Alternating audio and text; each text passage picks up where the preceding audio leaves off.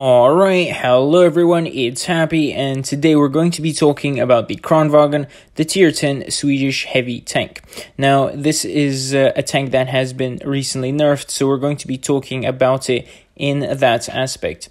This is the equipment, calibrated shells, of course, supercharge I use, and refined gun. You can use it as you like, but this is just my equipment, and it's the most comfortable way of playing it for me. Everything else is standard. Of course, I do need sandbag armor, which is a big bonus, and obviously the better consumables which come with it. If you don't use the consumables, you're probably an idiot. So yeah, we're going to be jumping into a live game, and we're going to be talking about the tank at the same time. This tank has recently been nerfed. The turret now moves around as if it has been damaged, so as if the turret is yellow, which is super important because uh, you want to be turning towards the area. You want to pre-fire anyway.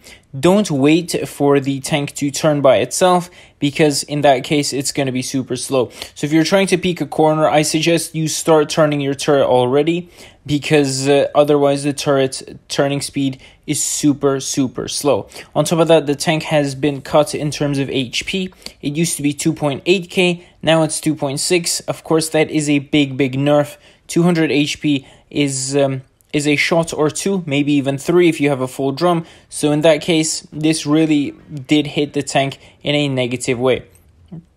So here, I don't think I can really penetrate anyone. Uh, I don't know why I did that shot. There is no way in hell you're going to penetrate a VK90 under an angle like that. So I'm probably going to relocate to try and get a better angle on them. But the tank itself is still okay. You know, the gun is pretty good. It still has that auto reloader, which is good at times, but the DPM is still garbage. The mobility is quite trash if you don't have the consumable, but the best thing about the tank is, of course, the turret armor in regards to it being hull down. Sometimes you can get an HE shell from a Death Star for 1000 plus into the um, the top part of the turret but you just need to remember to raise it. Obviously, we got a uh, three shots into the enemy tanks on the other side to the Progetto and the Foch, but now I really want to focus on the heavy tanks on this side because I think it is super duper important. I do have 700 games played on the Kranvagn, and overall I really do enjoy it. Sometimes I really hated it, and my average damage is around 3400 plus on this thing, which isn't too great, but it's not too bad it's uh, it's playable. So here, our our guys are dying. I think we completely lost the flank, and uh, we're going to get cornered, and ultimately, most likely, we're going to lose because, as you can see here, the uh, the the light tank on our team is on this side as well. On that side, they have a few mediums and a Foch. So they're going to come around and eat us in the bomb because we really don't know how to push the heavies on this side. Amazing.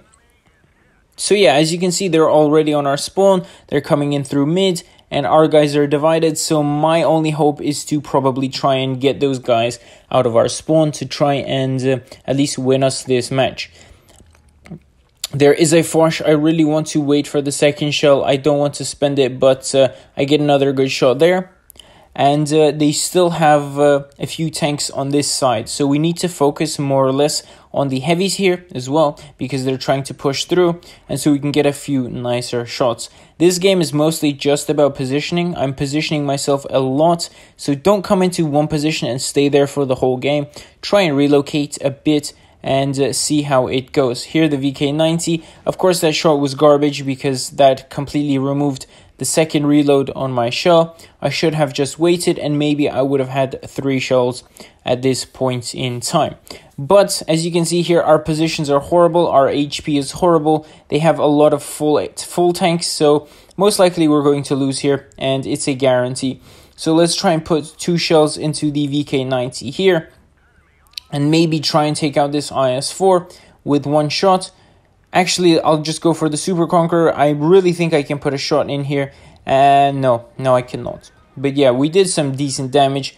But uh, obviously, we lost because our team wasn't the greatest. So yeah, guys, we did around 5,200. And uh, it's a decent game. So that's the Kranvagn for you guys. If you guys enjoyed this shorter video, smash the like button. And I'll see you guys next time. Happy is out. Bye-bye.